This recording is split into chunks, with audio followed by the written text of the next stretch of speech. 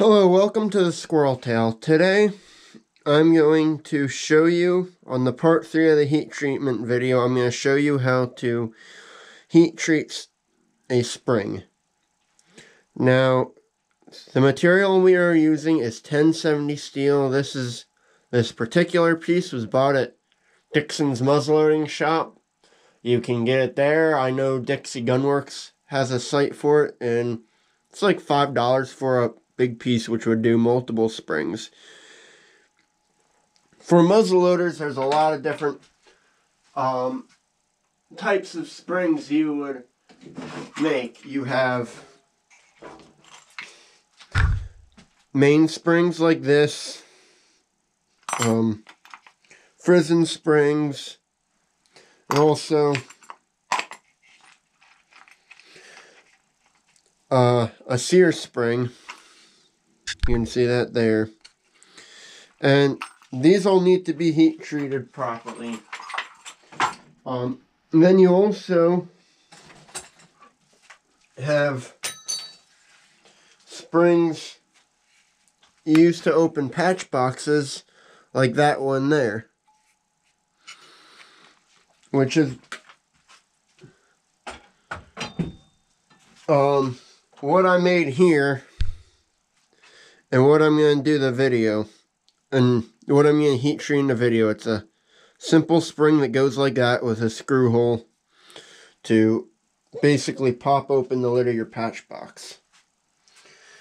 So this steel is an oil quench steel. Um, so I'm first going to quench it in oil.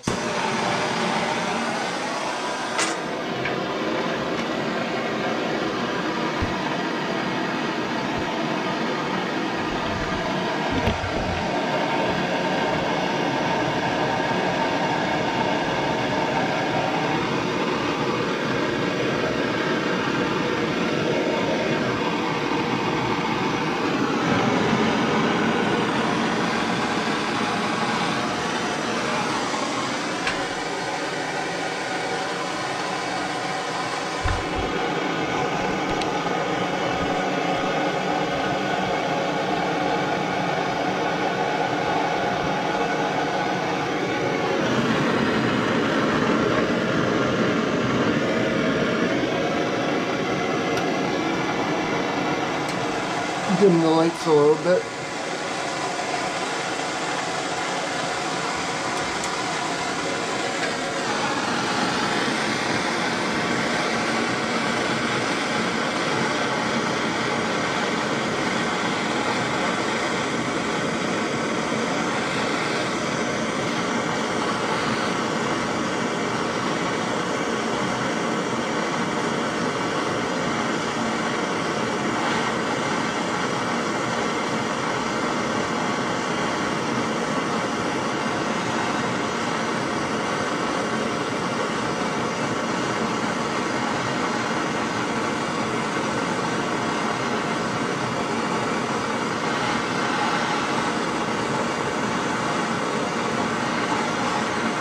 So I just want to get it to a nice cherry red.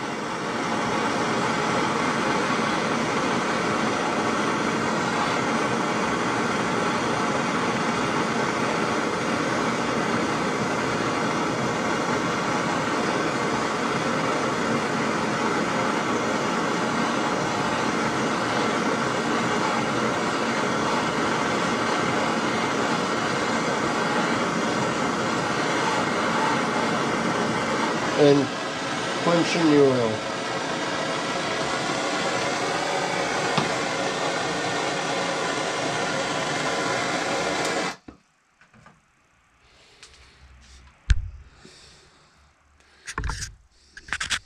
And then it's quenched. So I'm then going to clean it off.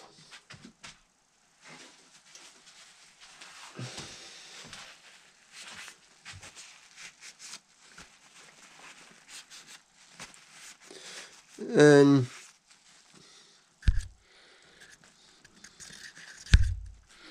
and got it cleaned off I'll get the lights back on.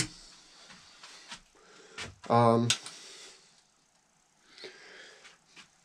and I'm to do a little bit better job at degreasing it with some rubbing alcohol.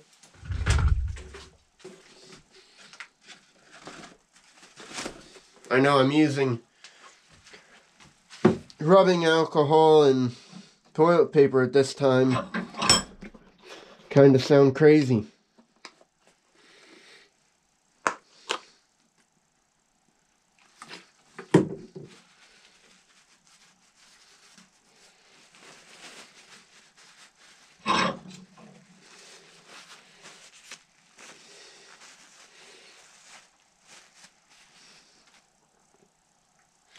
And I'm going to really make sure it's clean by like lightly sanding it. But unlike when I did the tempering in the last time, so now the steel's hard, I don't necessarily have to get a polish on it. I just gotta get all the oil off it.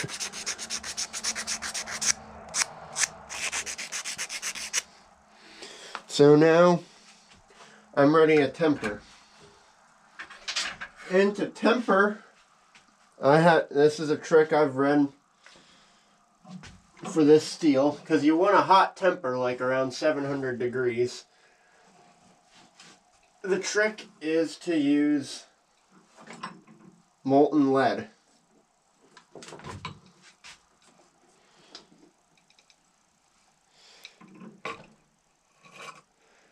And So I got a pot, pot of molten lead right there. And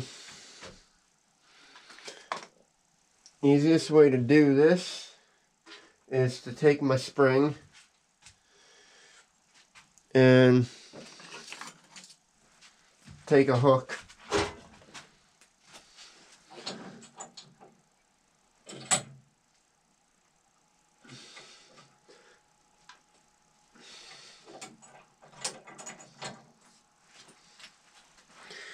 And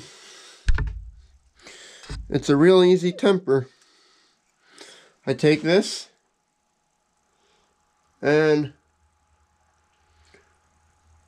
submerge it in the lead for about probably 20 seconds until it falls out and or until I drop it which I did right there. And then, here, seeing the pot a little better.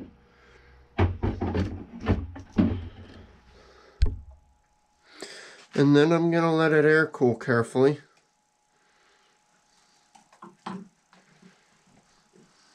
And unplug the lead. Now a note, I had the lead by the window. I have a window open, so I do have good ventilation, so I'm not breathing in lead fumes.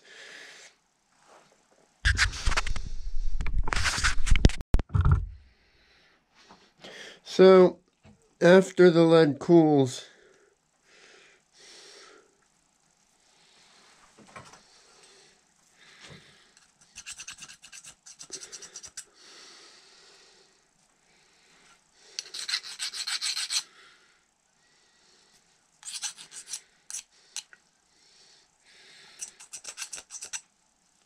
after or after the part cools, just take some sandpaper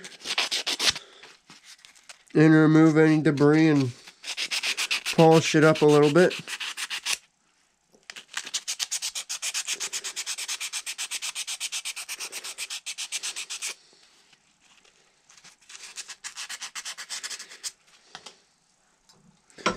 Ah, shit. And as you can see, it acts like a spring now. A little stiff, but you know, I can tap at it and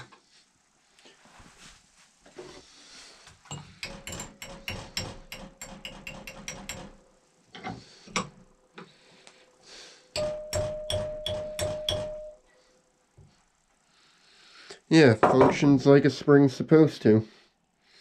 So, that's an easy method for um, hardening and tempering a spring. So I hope you enjoyed the video.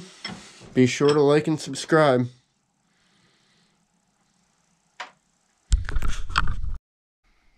Thanks for watching. Remember to like, comment, subscribe for more great content, and check out our Instagram page at, at SquirrelTail Show.